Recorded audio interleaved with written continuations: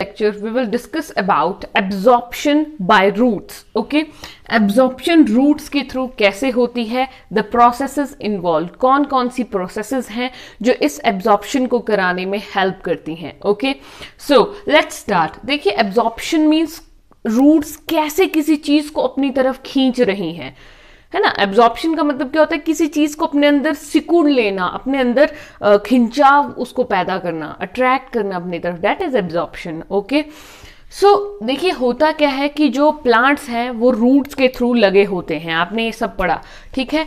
देखिए absorption by roots chapter से ही आपको क्लियर हो रहा है कि now we are going towards discussion about the plants okay so ये किस फ़ील्ड के अंडर हम पढ़ते हैं? बायोलॉजी की फ़ील्ड प्लांट फिजियोलॉजी के under okay so what is the definition of plant physiology जो भी प्लांट से रिलेटेड स्टडी होती है, ठीक है? उस स्टडी को बायोलॉजी की ब्रांच प्लांट फिजियोलॉजी के अंडर हम करते हैं।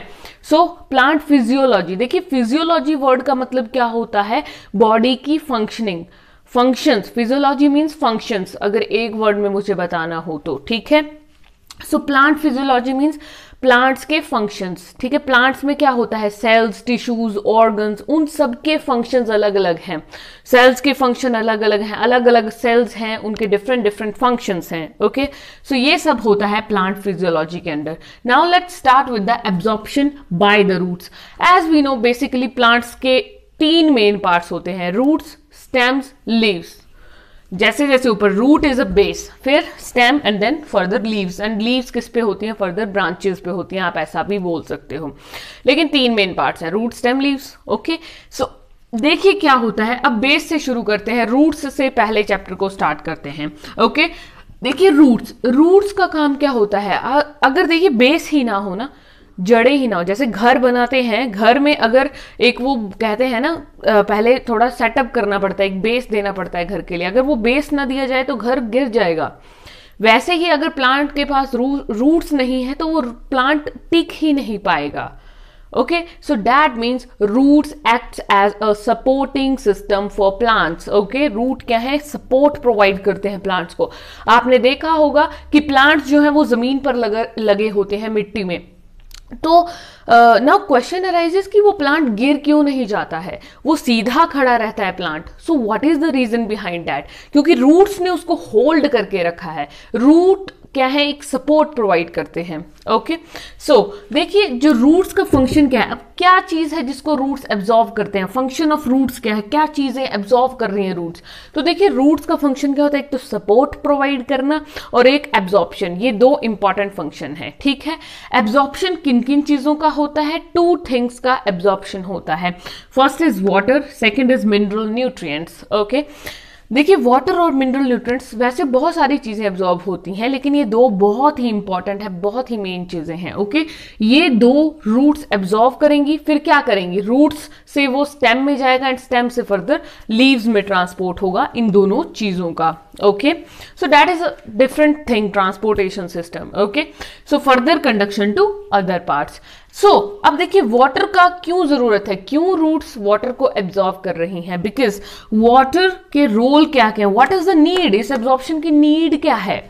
तो देखिए फोटोसिंथेसिस वाटर वाटर हेल्प करता है फोटोसिंथेसिस में। ठीक है फोटोसिंथेसिस क्या होती है कि जो सनलाइट की प्रेजेंस में प्लांट्स अपना फ़ूड प्रिपेयर करते हैं। ठीक है? और वाटर इज़ मस्ट वाटर नहीं होगा then there will be no photosynthesis okay green plants में हमेशा होती है। नेक्स्ट इज़ डिटेल में डिस्कस करेंगे। ट्रांसपीरेशन सेकेंड फ़ंक्शन वाटर का है ट्रांसपीरेशन ये क्या होता है कि जो लीव्स होती हैं, ठीक है लीव्स से वाटर वेपर्स की फॉर्म में वाटर का लॉस होता है. That is transpiration next is transportation this is transpiration and this is transportation transportation का मतलब क्या होता है? एक जगह से दूसरी जगह जाना ट्रांसपोर्ट करना ठीक है? सो दैट मीन्स अभी यही ये जो कंडक्शन हो रहा है रूट्स ने एब्जॉर्व की चीज़ें और उसको फर्दर स्टेम लीव्स तक पहुँचाया।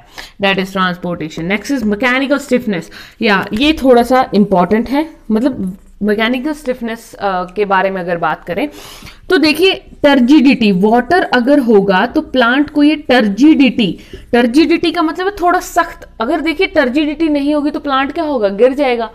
सख्त, सख्तपन नहीं होगा ना तो plant will drop down okay so इसीलिए जो मैकेनिकल स्टिफनेस यानी कि टर्जिडिटी हार्ड बनाता है, ये प्लांट को खड़े होने के लिए कैपेबल बनाता है।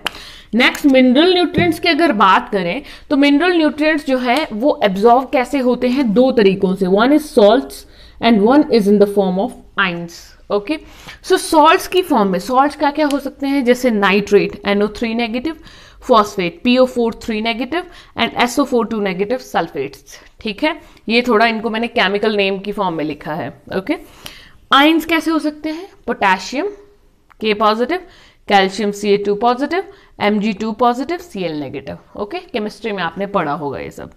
सो so, इस फॉर्म में सॉल्ट या आइंस की फॉर्म में मिनरल्स पहुँचाए जाते हैं रूट्स के द्वारा स्टेम्स लीव्स में ओके सो so, देखिए अब इसका फ़ंक्शन क्या मिनरल्स की ज़रूरत क्यों है? क्योंकि these are the constituents of cells and organelles ये जो है ये कॉन्स्टिट्यूएंट्स है सेल्स के और सेल ऑर्गेनलीज के ठीक है? जो सेल मेम्ब्रेन है वो फॉस्फोलिपिड से बनी है। मीन्स कहीं ना कहीं उसमें फॉस्फेट ग्रुप की प्रेजेंस है ठीक है? वैसे कुछ ऑर्गेनलीज में ये कंपाउंड्स प्रेजेंट होते हैं ठीक है? जैसे मैग्नीशियम जो है वो प्रेजेंट होता है क्लोरोफिल में okay okay?